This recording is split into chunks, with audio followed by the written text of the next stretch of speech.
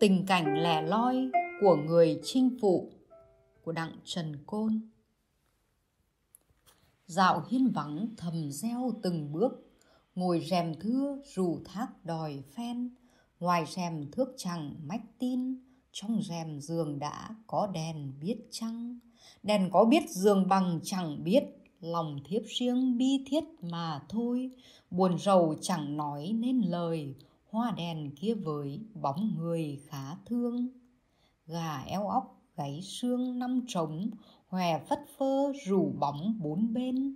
Khắc giờ đằng đẵng như niên, mối sầu răng giặc tựa miền biển xa. Hương gượng đốt hồn đà mê mại, gương gượng soi lệ lại châu chan. Sắt cầm gượng gầy ngón đàn giấy uyên kinh đứt phím loan ngại trùng lòng này gửi gió đông có tiền, nghìn vàng xin gửi đến non yên. Non yên dù chẳng tới miền, nhớ chàng thăm thầm đường lên bằng trời. Trời thăm thầm xa vời khôn thấu, nỗi nhớ chàng đau đáu nào xong. Cảnh buồn người thiết tha lòng, cành cấy sương đượm, tiếng trùng mưa phun.